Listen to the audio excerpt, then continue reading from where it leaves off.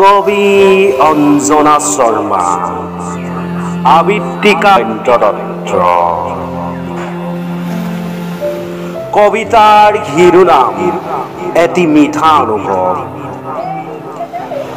উফন্দি উঠা অভিমানবোৰ সাৱটি তাই পালেংখনত তলেকভাৱে শৰীৰটো এৰি দিছে।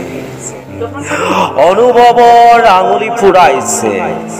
হাজাৰটা নিশাৰ তপত স্পৰ্শ কিমানটা ৰাতি তাই উজাগৰে কটাইছিল। স্বপ্ন খেদি খেদি। আলফুলকৈ কুকিত ভৰাইছিল। টুকুৰা টুকুৰ ফুল এটি ধুনুক ধাৰাক খোজে। তাই টোপনিত আউল লাগে। সপোনবোৰ পুহিছিল এটি মৌ মিঠা মাতত হৃদয় জোৰোৱাৰ ছবি আঁকিছিল। তাই বাগৰ সলাই পুনৰ মনৰ দাপোনত শব্দবোৰ ভালকৈ চালে। আৰু ক'ত ভুল হৈ গ'ল?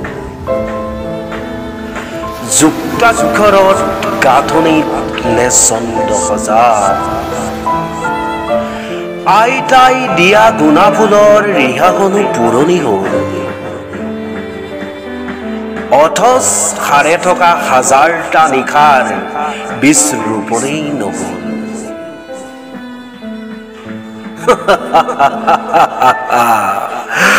অভিমান তাইৰ অভিমান ওচৰত চাৰ্মিৰ নিজৰ নে সময়ৰ ওপৰত?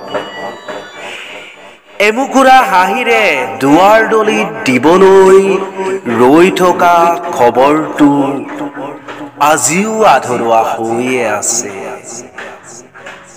মাতৃত্বৰ গৌৰৱত উজলি উঠা এটি মিঠা অনুভৱৰ সুবাস লৈ। এটি মিঠা অনুভৱৰ সুবাস লৈ। ধন্যবাদেৰে কবি মই জয়ন্ত অসম।